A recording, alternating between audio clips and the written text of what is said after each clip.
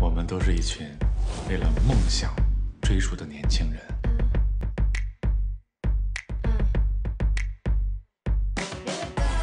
我决定改变瑞的运营方式。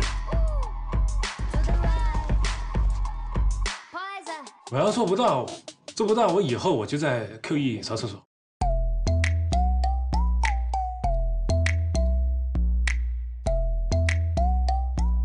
接手了瑞，就是选择了创业。是瑞改变了我，我就要在这儿燃烧我的青春。做直播，外貌不是最重要的，口才、话术、带货能力，这才是核心力量。我觉得我肯定行，所以我就来面试主播了。我有点紧张，这是主播的吧？当网红管挣钱，挣可多可多的钱。干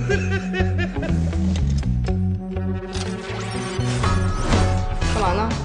架好了，李展磊，背挺直了，收腹。想要当好一个主播，最重要的就是先确定自己的目标。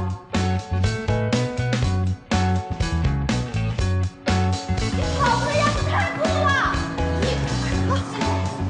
加油！这绝对不可能！我当主播，我可当不了主播。宝宝们，嗯，这个兔子耳朵确实是特别的漂亮，特别的可爱。现在是咱们双十一决胜的时刻，所有人把干劲儿全都给我拿出来！赶紧下单，我和你们一起运动起来！太厉害了吧！怎么突然这么我们有坚韧不拔的品质，为自己打造出一片崭电商直播这个行业不是大事，从这个行业赚走钱的人比比皆是，我就做到了两个字：顺势。只要有钱西西在我身边辅佐，我断然必定能成就一番大事业。请你吃。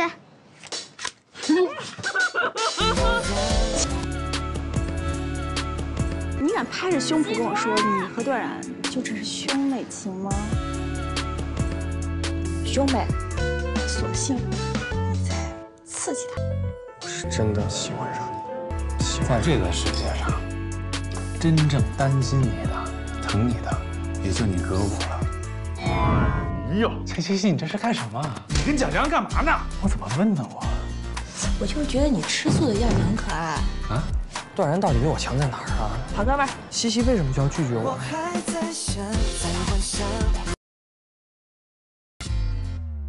我肯定是喜欢上他了。为什么我身边两个那么重要的男人都喜欢钱西西呢？我哪里比不过他了呢？还是现在流行这款呀？接手了瑞，就是选择了创业。从今天开始，我们就不再是瑞直播了。我给新公司取名叫云直播。从今往后，我们跟 QE 跟瑞不会再有任何瓜葛。三亚事件，陈朗蓄谋已久，我相信他背后一定另有高人在指点他。只要能让段然难受，这些都是举手之劳。咱俩的战争开始了。你有没有听过一句话？商场如战场。我们接到消费者的举报，你们公司涉嫌贩卖假冒伪劣化妆品。被封号了。如果公司内部出了内鬼，我怎么办？从今天开始，QE 集团就是我们沈家说了算了。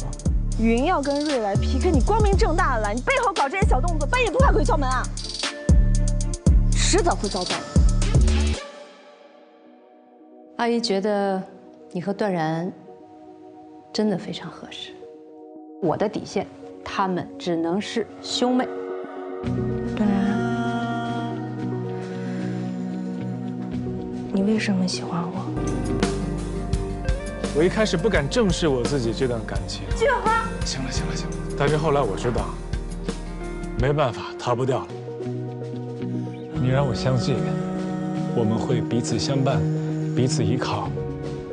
不管我在外面什么时候浴血奋战，只要我回头，家里就有一个人等着我凯旋归来。我已经遇到了，在我生命中，我愿意给对方温暖和养。不管公司遇到什么困难，不管你遇到什么困难，我都会一直在你身边陪着你。